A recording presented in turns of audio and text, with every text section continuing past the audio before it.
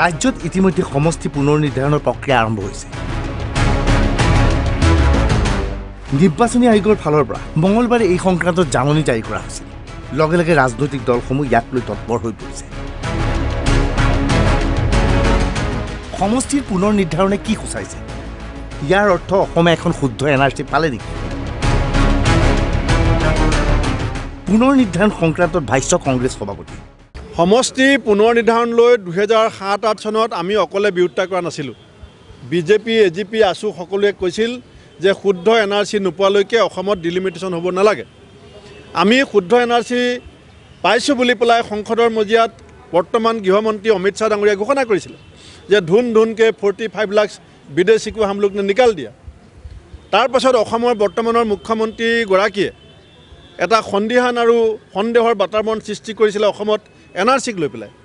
কিন্তু এতিয়া যেতিয়া বিজেপিয়ে দিল্লীত কেন্দ্ৰীয় চৰকাৰ অসমত ৰাজ্য চৰকাৰ ইলেকশ্যন কমিশ্যনে দুয়োখন চৰকাৰৰ সন্মতি সাপেক্ষে ডিলিমিটেশ্যন ঘোষণা কৰিছে। ইয়াৰ পৰা আওপকীয়াকৈ এই কথা বিজেপিয়ে মানি লৈছে যে অসমে এখন শুদ্ধ এন আৰ চি পালে। সমষ্টিৰ পুনৰ নিৰ্ধাৰণৰ প্ৰক্ৰিয়া পৰ্যবেক্ষণ কৰিব কংগ্ৰেছে। কংগ্ৰেছে গঠন কৰি দিছে এক বিশেষ কমিটি। এই ডিলিমিটেশ্যনখনৰ ওপৰত তীক্ষ্ণ দৃষ্টি ৰাখিবৰ কাৰণে আমি আমাৰ দলৰ কেইবাগৰাকীও জ্যেষ্ঠ নেতাক লৈ এখন হাই পাৱাৰ এক্সপাৰ্ট কমিটি বনাই দিছোঁ। আজি আমাৰ হাই পাৱাৰ এক্সপাৰ্ট কমিটিখনৰ প্ৰথম মিটিং আছে। এওঁলোকে গোটেই বিষয়টোৰ ওপৰত তীক্ষ্ণ নজৰ ৰাখিব। যদি as per modality as per rule and procedure যদি ডিলিমিটেশ্যন প্ৰচেছটো আগবাঢ়ে কংগ্ৰেছ দলে ইয়াত পূৰ্ণ সহযোগিতা কৰিব। আৰু যদি আমি ক'ৰবাত লক্ষ্য কৰোঁ যে মডেলিটি ব্ৰেক কৰা হৈছে ৰুলছ ব্ৰেক কৰা হৈছে প্ৰচিডিঅ'ৰ ব্ৰেক কৰা হৈছে তেতিয়াহ'লে ইয়াৰ বিৰুদ্ধে কংগ্ৰেছ দলে ন্যায়িক হওক গণতান্ত্ৰিক হওক শক্তিশালীভাৱে বিৰোধিতা কৰিব। সৰ্বদলীয় সভাত পূৰ্বে সমষ্টি পুনৰ নিৰ্ধাৰণৰ বিৰোধিতা কৰা হৈছিল। এতিয়া সৰ্বদলীয় সভা অনুষ্ঠিত হোৱা নাই। আসনৰ সংখ্যা যদি বৃদ্ধি নহয় তেনেহ'লে সমষ্টিৰ পুনৰ নিৰ্ধাৰণ কিয়?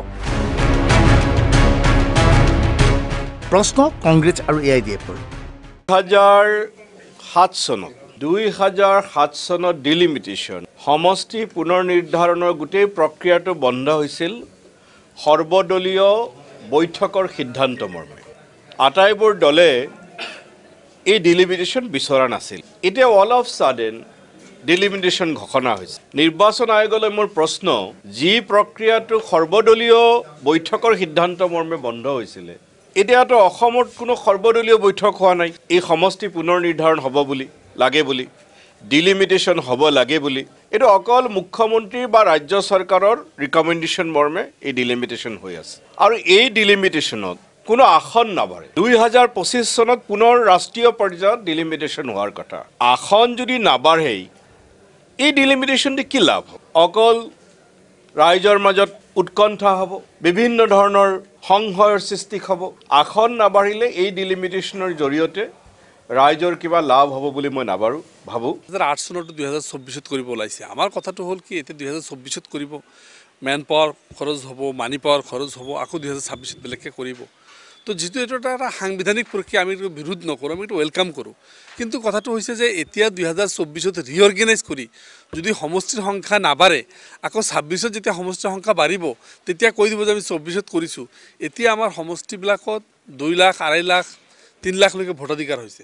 তো চ' এতিয়া ইমিডিয়েট আমাৰ ডিলিমিটেশ্যনটো ইমিডিয়েটলি লাগে আৰু অত্যন্ত প্ৰয়োজন। সেইকাৰণে মই ভাবিছোঁ যে ছাব্বিছ আৰু চৌব্বিছ মিলাই যদি একেলগে কৰে ইট উইল বেটাৰ এইটো আমাৰ কাৰণে ভাল হ'ব। সমষ্টিৰ পুনৰ নিৰ্ধাৰণে খিলঞ্জীয়াৰ দপদপনি বৃদ্ধি কৰিব। এই আশা বিজেপিৰ। কিন্তু ইয়াক নস্বাত কৰিছে এ আই ডি এফে আজি কেইবাটাও সমষ্টিত কেনেকৈ আমাৰ খিলঞ্জীয়া মানুহৰ বিপৰীতে অখিলঞ্জীয়াৰ যিটো দপদপনি বা যি ধৰণে আজি আমাৰ মাজত চাবলৈ গ'লে অসমীয়া জাতিৰ ভৱিষ্যতো নিহিত হৈ আছে। সেইকাৰণে আজি আমি লক্ষ্য কৰিছোঁ যে আমাৰ জাতীয় সংগঠনসমূহেও মাত মাতিছে যে খিলঞ্জীয়াৰ স্বাৰ্থ ৰক্ষা হোৱাকৈ সমষ্টিসমূহৰ পুনৰ নিৰ্ধাৰণ হ'ব লাগে।